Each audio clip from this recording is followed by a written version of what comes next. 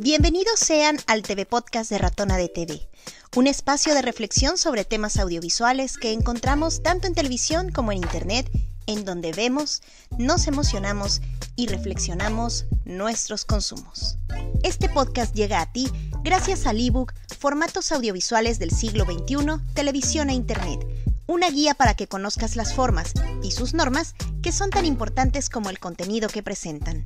Lo encuentras en www.ratonadetv.com diagonal ebook. Hola, ¿qué tal? ¿Cómo están? Bienvenidos sean a este TV Podcast, el TV Podcast número 100 y yo estoy muy contenta de compartirlo ahora en este formato. Quienes lo estén escuchando por Spotify, por iTunes o en alguna de las plataformas de audio, pues esto es un audio, pero quienes están viéndolo por YouTube, pues este formato ahora se está estrenando también en video y a ver cómo me sale. Es el TV Podcast número 100. Yo quería hacer algo especial y sobre todo algo especial para todas aquellas personas que están llevando y que están viendo muy de cerca la conversación acerca del estreno de esta plataforma de Televisa, de Televisa Univisión ahora, que están dándole mucho calor, bueno, evidentemente le han dado muchísimo calor desde hace algunas semanas, anunciando el estreno, anunciando ya llega, ya viene, ya viene, y pues ya llegó, ya llegó en el formato en el que vamos a empezar a ver todo el contenido de VIX de manera gratuita en el, formato, digamos, que lo tienen para que la publicidad esté inserta y la gente pueda consumir esta plataforma de manera gratuita. Y evidentemente, pues bueno, sabemos quiénes estamos y seguimos esperando la conversión de Blim a VIX Plus, que será pues esta modalidad. Pero bueno, quienes están llevando esta conversación seguramente están muy cercanos a todo lo que está ofreciendo Televisa y a este discurso que siguen dando con mucho interés de competir con plataformas como Netflix. Y a mí me llama mucho la atención porque em, desde hace 20 años, Televisa ha tenido la oportunidad, como muchas televisoras y como una gran parte de la industria de antes, digamos, de la industria que viene desde el siglo XX, y ha tenido, a mi parecer, muchas oportunidades para entrarle de lleno a este juego del Internet con toda esa sapiencia y con toda esa manufactura y con toda esa capacidad y sabiduría que tienen de utilizar el recurso audiovisual y utilizar las herramientas, el lenguaje y todo lo que hay alrededor de esto para crear contenidos acordes a cada plataforma o acordes a cada momento. Y creo que aquí lo que tenemos que ir entendiendo o al menos esta es la propuesta de este, de este podcast, que no nada más se trata de innovar en la tecnología. También esto se ha tratado de la adaptación de las tecnologías a los formatos, a las formas en las que hay para contar cosas. Y ahí es donde creo que Televisa y donde yo le estuve dando un seguimiento importante de alguna u de otra manera a esto, porque me parece que eh, Televisa ha insistido mucho, que creo que no es que esté mal, en recurrir al recurso de la nostalgia y de todo lo que tienen de acervo, que es muchísimo, o sea, es un contenido enorme al que creo que no le han sacado mucho provecho, aunque en cada aviso que nos fueron dando desde hace 20 años era vamos a traer estos contenidos al público, vamos a acercar al público a los contenidos que ya vieron pero creo que han sido muy cuidadosos, muy temerosos em, e incluso creo que hasta muy cautelosos, pero en un mal plan, pues creo yo, para poder proponer cosas que tengan que ver con esto. A ver, hago nada más una breve introducción, porque algo que también van a poder encontrar en mis redes sociales es una infografía de eh, estos 20 años que les estoy contando, donde Televisa ha experimentado de alguna o de otra manera con em, el tema del Internet. Primero, en 99, 2000, salió un concepto que yo creo que muchos de nosotros recordamos que se llamó esmas.com. Y es más, pues era como la parte digital, empezó a hacer esta parte digital a donde nos mandaban ya todos los programas de Televisa. Si ustedes incluso ven las telenovelas de aquel entonces, muchas de ellas ya tienen así de consulta más capítulos en esmas.com hasta el final de los créditos. Digamos que era como la versión de lo que llegó a pasar incluso en TV Azteca en algún momento que todo te lo mandaban a todito.com, que ya les estoy hablando de la prehistoria, pero bueno. Y eran más o menos como estos puntos de comparación. Y después de, que es más, se había ofertado como una propuesta, no nada más como un repositorio, digámoslo así, o como para ir presentando, también vertiendo información esta parte noticiosa, esta parte también informativa que tenía que ver con las telenovelas, eh, las noticias que iban surgiendo poco a poco con, eh, con, obviamente, con los programas de ficción, con otro tipo de programas que sacaba Televisa, y pues todo te, te mandaban todo a, a esmas.com. Y Después, años después, en el 2008 más o menos, 2006, 2008, llega tevolución.com. Y Tevolución, te decían, es otra propuesta revolucionaria donde no solo estamos siendo ya el repositorio o estamos poniendo cosas eh, informativas, sino que también estamos ofertando producciones exclusivas para ser consumidas eh, por esta vía. 2008 era un año que podríamos pensar que todavía, o sea, si lo imaginamos en el nivel contexto, sí puede ser un año en el que todavía no existía tanta tecnología para soportar el video. Eh, o sea, sí, digamos que a lo mejor no en todos los teléfonos había internet, todavía no se popularizaba tanto esto de tener un smartphone y evidentemente no existían del todo, iban en ese camino ya las Smart TV y eh, pues el contenido se veía de aplicaciones que ya iban saliendo o directamente de las páginas. Y en este caso, Tevolución era una página y desde ahí podías consultar. Después de Tevolución, eh, en ese inter de evolución, pues aparece Netflix, que Netflix llega a la escena en 2010, 2011, de hecho acaban de celebrar sus 10 años. Y esto implica que todo lo que Televisa había como hecho, digamos, esfuerzo, de pronto ya se ve materializado, pero en otra plataforma, en, en, otro, de otra manera, y entonces Televisa se va poniendo nuevos retos. Y presenta por ahí del 2000, ¿qué? Ah, bueno, 2014, 2015, presenta Veo. No, 2013, presenta Veo. ¿Y qué era Veo?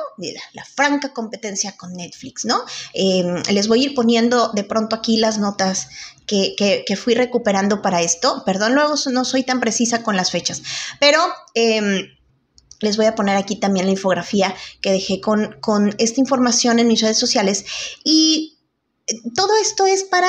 explicarles que Televisa hizo muchos esfuerzos, Televisa hizo como muchos intentos por querer entrar de lleno a un mundo en el que por alguna razón siempre tuvo resistencias o quizás falta de visión o quizás sintió que el tiempo no iba a correr tan rápido. Y dos años después de que salió Veo, después presentan Blim. Ya Blim ya entendido, igual que Veo, como una aplicación, Evidentemente la tecnología ya corría mejor, el ancho de banda y todas estas eh, circunstancias para el visionado del video eh, desde un teléfono desde este tipo de, eh, donde estés donde estés, ¿no? Donde los planes de telefonía ya te permiten que no todo se te vaya en video y que puedas jugar mejor con eso. O sea, saben, todas estas cosas tenían que estar puestas para que salieran estas tecnologías y entonces que Televisa sacara un Blim que pues ha sido muy polémico siempre el tema de Blim y en todos, insisto, siempre nos han dicho, traemos eh, todo el repositorio, traemos todo lo que Televisa ha producido. Y en realidad Blim, pues no terminó de cuajar, yo creo, a niveles corporativos, a nivel negocio. Para quienes gustamos de ver las telenovelas, funcionó y, creo que ha funcionado bastante bien, aunque sí debo de confesar que la interfaz de, de Blim me cuesta muchísimo trabajo en Smart TVs. Em, de repente eh, en algunas, por ejemplo, en las que tienen el sistema Roku, pues se ve padrísimo, y en otras de repente dices, híjole, es que no hay manera, lo hacen muy difícil. El camino para llegar a la serie o para llegar a la telenovela o para encontrarla tan solo en el buscador es bien complicado. Y yo creo que como estos había, mm, todos podemos tener testimonios similares con Blim. Y por alguna razón, Ahora, gracias a la fusión Univisión Televisa, Televisa Univisión,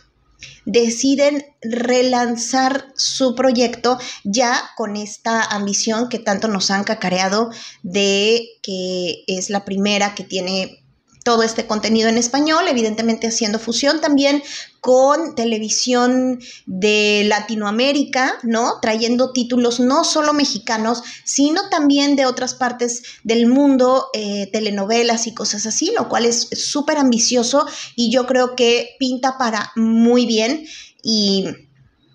Y pues bueno, habrá que sentarnos a esperar.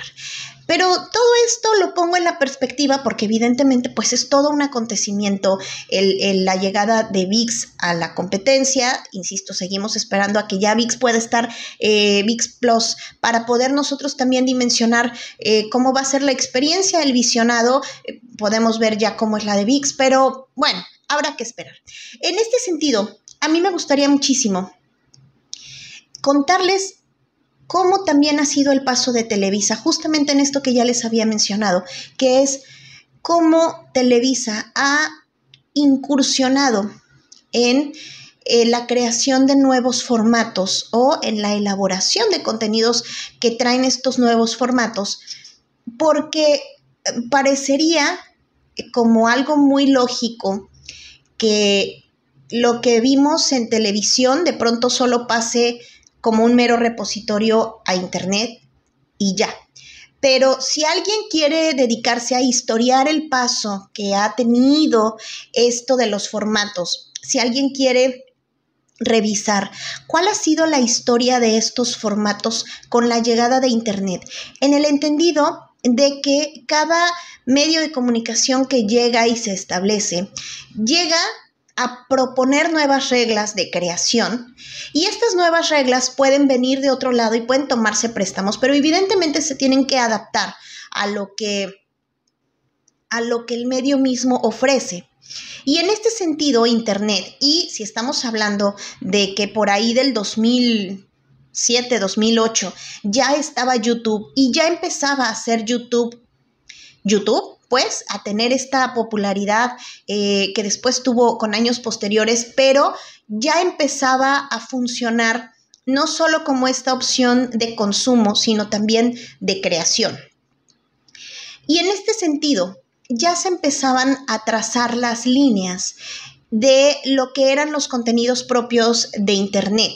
Evidentemente, y les repito, porque es tan importante pensar en el contexto, en el contexto de que no todo el mundo eh, veía el Internet desde sus casas, de que, por ejemplo, si era en la oficina, pues les podrían reducir el, el el Wi-Fi o podían bloquearles algunas aplicaciones o algunas páginas. Entonces no todo se podía consumir con la facilidad y con la rapidez que tenemos en este momento. Y en ese sentido, como digo en ese sentido, verdad? Qué cosa, qué muletilla tan fea. me acabo de dar cuenta. Pero eh, pensándolo desde esta perspectiva, evidentemente lo que YouTube empezó a proponer eh, eran videos cortitos y cuando se trataba, por ejemplo, de ver gatitos o de ver este, perritos o de ver cositas así, había una posibilidad de ver videos muy cortos. Solo veías como el gajo, el asunto chistoso y pasabas a otra cosa. Y esto fue delineando algunas cuestiones narrativas que ya cuando las personas decidieron tomar una cámara y utilizar el recurso de YouTube eh, también para subir sus propios contenidos, pues empezaron a trazar otras líneas del juego para que evidentemente lo que se estaba consumiendo se pudiera consumir de una manera rápida, de una manera fácil, que no tuvieras que lidiar con el tema tecnológico de que, ay, se me acabaron los datos, ay, no tengo señal, este, ay, mi internet está terrible y no puedo descargar el video. Todas estas cosas que no eran nuevas tampoco y que ya se estaban vislumbrando desde muchos años antes, que ya había empresas de entretenimiento que estaban empezando a producir, y les estoy hablando de recién los años 2000, que para nosotros podría significar una edad muy temprana del Internet. Sin embargo, en esos años ya había una eh, un pico importante de empresas que ya estaban haciéndola y de repente cayeron. O sea, lo que nosotros pensamos para los años 2000 es, es, ya una primera etapa del Internet, ¿no? Eh, con todo lo que representa, que, que, fue, que fue, que fue, también económicamente hablando, que fue, que fue, que fue. De repente llegó a un pico, se cayó y toda esta burbuja que se cayó, pues evidentemente también tumbó muchos proyectos que ya estaban manejando este tema de la creación audiovisual, porque evidentemente pues también jugaban en contra de, la, de, de los aspectos tecnológicos para el consumo, pero que eso no limitaba que ya hubiera propuestas en ese sentido. O sea que estamos hablando de que todas estas cosas, normas, reglas y posibilidades se empezaron a plantear desde principios de los 2000. Y todo esto para decirles que las, estas normas y reglas, pues evidentemente estaban pensando formatos muy cortos para que puedan fueran consumidos de manera mucho más rápida y cuando ya son relatos planeados, armados, que te estén dando una historia, se proponía que todo fuera en planos muy pequeños, porque a diferencia del cine o de la televisión, no estábamos hablando de clips que fueran contemplativos o de clips que fueran a darte, a contarte muchas historias de muchas personas. Evidentemente por los tiempos y por las cosas que les estoy comentando,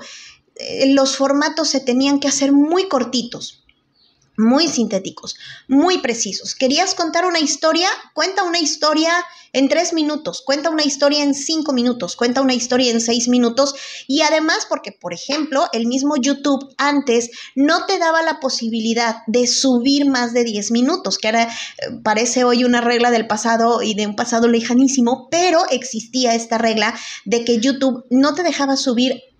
más que 10 minutos. Y después ya fue eh, cambiando un poco eh, que si ya tenías más suscriptores o cosas así,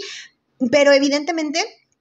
antes no podíamos darnos el lujo de tener formatos tan largos en estas plataformas. Y entonces, ¿cómo es que todo esto, cuando Televisa está jugando o experimentando, jugando creo que es una palabra terrible, porque no? Porque esto es una cuestión industrial y debe de haber sido serio. Sin embargo, me parece que eh, sí eh, le faltó mucho valor para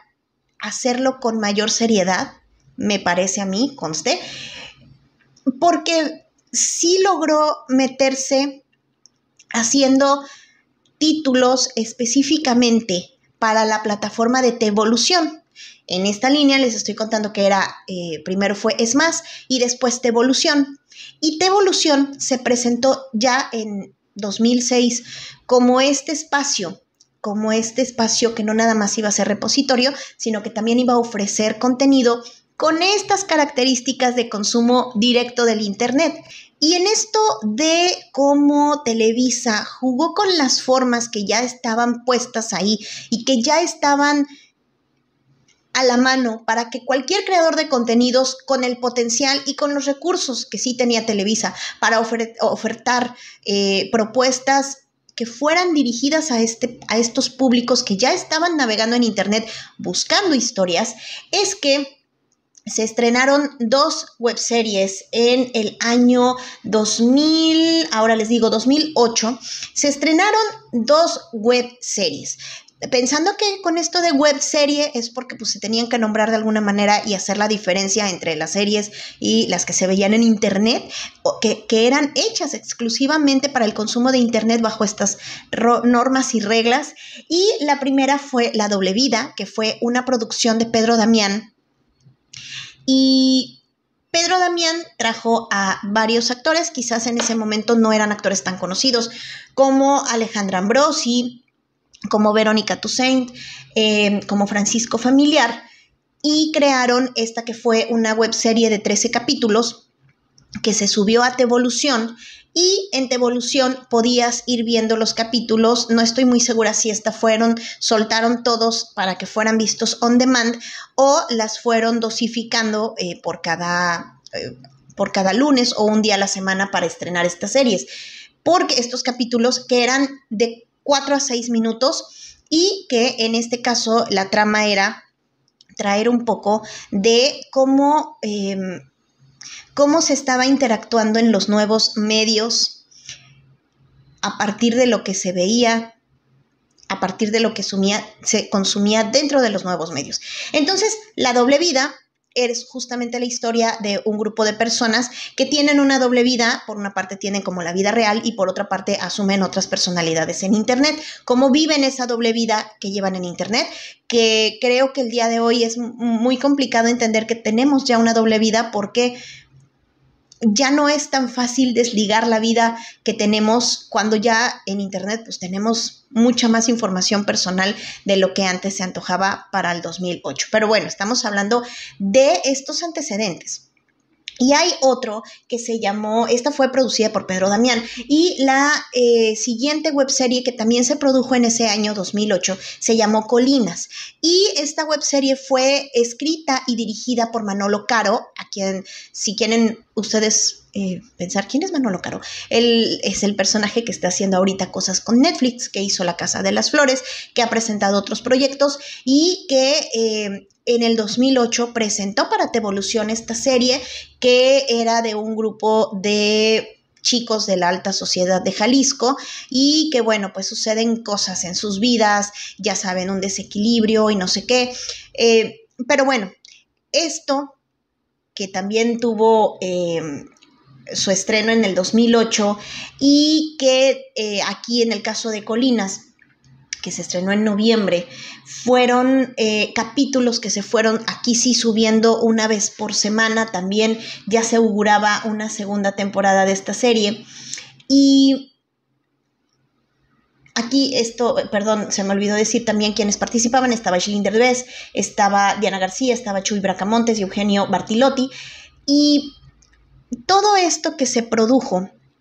también sentó las bases de capítulos muy cortos que no requerían y que no necesitaban, por ejemplo, de tomas de ubicación, que las escenas eran cortas, eh, que te tenían que dar una información importante durante esos seis o, o sea, cuatro o seis minutos o incluso hasta siete u ocho que podría durar un capítulo, pero tenía que pasar todo en ese capítulo y a diferencia de las telenovelas, evidentemente había que ser muy concretos, ¿no? Y esto también sentó las bases para lo que después se produjo, que fue una web novela, em,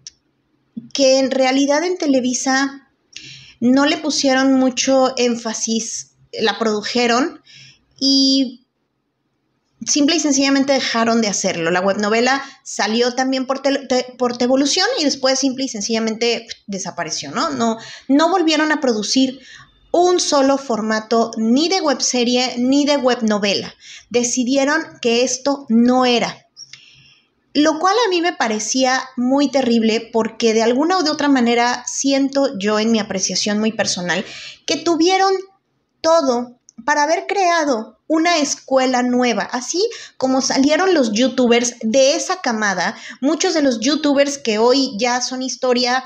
no en el sentido malo, pues, sino en el sentido positivo, que son historia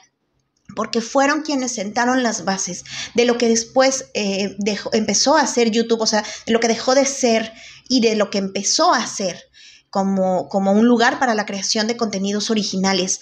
Creo que en este caso Televisa tuvo todas las herramientas para lograrlo y no se pudo. Y además me parece que hay muy poquita documentación al respecto. Yo llegué a esto por mi tesis de, mm, maestría, que fue hablar de webseries y de webnovelas, específicamente webnovelas, pero todo el antecedente que hubo fue importante para mí. Y esto es algo que sigo sin encontrar en documentos que, den cuenta que esta, este tipo de producciones pasaron y que nos ayudan o nos pueden ayudar a pensar un poco en el debate o en la idea de que Televisa ha experimentado mucho y creo yo que ha perdido el tiempo. Y otra de las cosas que creo que no ha sabido aprovechar muy bien y lo ha documentado muy bien gente como Mauricio Cabrera, que ha sido un tema insistente de derechos, evidentemente jugar con los contenidos transmedia. Em, esta posibilidad de que los universos se expandan, de que planteen un contenido y que después esto se expanda a un libro, una serie, una aplicación, eh, un podcast, lo que sea. Acá hay un tema de, derechos con los que se ha tenido que luchar mucho en Televisa, eh, digamos, la gente que trabaja y que propone con la empresa. Y de alguna u otra manera salió afortunadamente, aunque también se quedó como un mero antecedente, em, una serie llamada Lockout, que fue muy interesante, fue una serie de 13 capítulos que se estrenó en Telehit, que de repente para cuando hacían estas cosas tan experimentales utilizaban canales que no eran sus canales principales, después pasó en Canal 5, pero no eran los canales principales, Telehit tenía un nicho muy específico, de alguna manera creo que era inteligente esta onda de jugar con los nichos. Pero bueno, Logout era una serie eh, narraba la historia, se los leo aquí, narra la historia de un joven encarcelado injustamente por la muerte de su familia y quien después de pasar 15 años en prisión decide hacer, rehacer su vida, descubriendo que su hermana sigue viva y es víctima de un círculo de prostitución en el oscuro mundo de la Deep Web. O sea, seguimos aquí eh, trayéndonos historias que tienen que ver con Internet, con cómo nos relacionamos con Internet, como ya lo habían planteado en la doble vida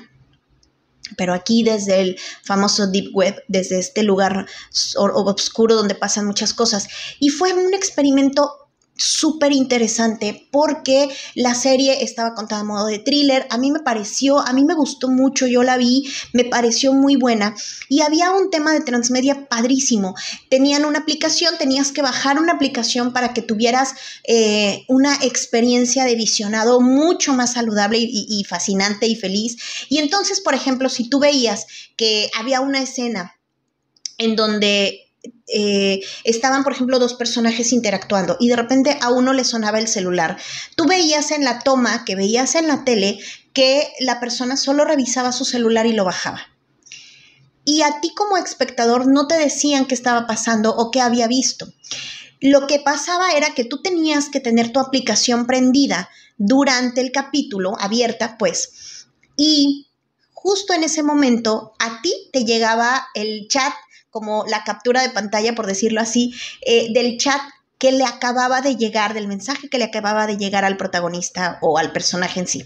Y como ese, había muchas cosas que de alguna manera te iba completando la experiencia, que si no lo veías, o sea, si tú no habías bajado la aplicación en tu teléfono, no pasaba nada. Tú seguías viendo y le entendías a la serie. Pero si tenías el recurso de la aplicación, podías ir enriqueciendo ay, cómo pego, perdón, podías ir enriqueciendo tu visionado. Y eso era algo maravilloso. A mí me gustó mucho como experiencia, como espectadora lo puedo decir. Estoy segura que no fue algo barato de hacer, porque evidentemente eh, hacer una aplicación únicamente como para esto no debe de haber sido muy económico que digamos. Esta serie salió en el año Em, esto ya salió cuando estaba Veo, ni siquiera fue Blim, fue Veo, esto fue en el 2015, en mayo del 2015, y esto coincide también con eh, el momento en el que también se dio una telenovela a la que no precisamente le llamaron transmedia, a esto tampoco le llamaron transmedia, em, eh, no me acuerdo cómo le llamaban, pero que fue antes muerta que Lichita, en donde también hubo una aplicación que sacaron porque se supone que esto pasaba en una oficina y como todos godines y entonces sacaron un juego específicamente de la de la telenovela, que se supone que todos jugaban, que se llamaba Godines World, y entonces todos en la aplicación, así como el Candy Crush y todas estas cosas. Y fue muy interesante ver cómo Televisa, una vez más, intentó experimentar con esto, pero por alguna razón pausaron y estos temas que fueron tocados por la empresa, experimentados por la empresa en algún momento de su, de su línea del tiempo, no cobró relevancia, no tuvo importancia para ellos y simple y sencillamente por una cuestión económica, por una cuestión de intereses o lo que sea, dejaron pasar oportunidades muy importantes de lo que hoy ya no es. ¿No? Es como cuando dicen que dejas pasar el momento y se va. Televisa dejó pasar el momento y ya no existe la posibilidad de regresar ese tiempo atrás, en donde Televisa tuvo todas las oportunidades incluso de generar una escuela. Aquí lo que hicieron con eh, las webseries pudo haber sido un tema muy interesante, quizás, como lo llegaron a hacer y, que tanto lo cacarearon, por ejemplo, de haberse traído a creativos como, como Cuarón o como González Iñárritu o como Guillermo del Toro, que de alguna u otra manera trabajaron para la empresa, ya sea desde un punto de vista eh, empresarial, pues ejecutivo, o bien desde la creación y lo cacarían mucho que si la hora marcada y que cosas de estas en donde estos eh, creativos empezaron, hicieron sus pininos y después hicieron lo que hicieron. Yo no sabía, por ejemplo, no, no había revisado que Colinas había, este, había sido escrita por Manolo Caro y de pronto se me ocurre pensar en todo lo que hubiera podido implicar que este tipo de formatos siguieran dándole oportunidad a estos jóvenes que estaban creando y que estaban muchos de ellos con una calidad muy buena y solamente necesitaban quizás el apoyo de estar ubicados, eh, de que sus videos se ubicaran en una plataforma que tuviera visión, que eso lo hizo en algún momento Televisión Azteca con un proyecto muy interesante que se llamó Irreverente, que después platicaremos de Irreverente, eh, Irreverente B se llamaba, y creo que eventualmente pudo haber sido un semillero. Eso lo creo, lo cree Raquel de los 2022. Y yo no estoy tan segura de que en su momento tuvieran la visión de apostarle a este tipo de cosas. Evidentemente vemos que no, que se quedaron pensando en que la forma que ya conocían de hacer televisión era la correcta, pelearon mucho con el tema de derechos y ahora estamos viendo que llega VIX, que siguen jugando porque no les cuajo Veo, porque no les cuajo Blim y porque entonces ahora quieren lanzar Blim, perdón, VIX con todo este background. Y ahora sí te dicen, vamos a apoyar creadores, estamos haciendo muchas coproducciones. Ahora sí, pero lo que pudo haber sido un semillero muy interesante con formatos donde la empresa sí le entró y sí experimentó en algún momento, simple y sencillamente se quedan ahí como parte del recuerdo y yo los traigo a ustedes eh, para que quede ese antecedente y si alguna de ustedes, alguno de ustedes se interesa en historiar esta parte de los 2000 que es tan importante y tan enriquecedora en el tema audiovisual, no solo desde lo tecnológico, sino también desde lo audiovisual, pues aquí quedan estas, estos antecedentes de que se hizo y se hizo bien. Muchas gracias, muchas gracias por llegar hasta aquí, gracias por estar en este podcast. Yo soy Raquel y ahora sí, con todas las leyes de la ley, les digo que nos vemos en el siguiente podcast. Bye bye.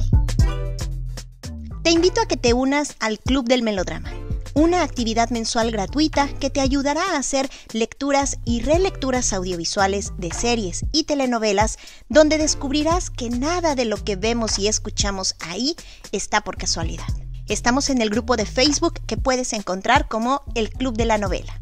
Te invito también a que me sigas en redes sociales. Me encuentras como arroba ratona de TV en Facebook, Twitter, Instagram, TikTok y YouTube. Y también en mi página de internet www.ratonadetv.com.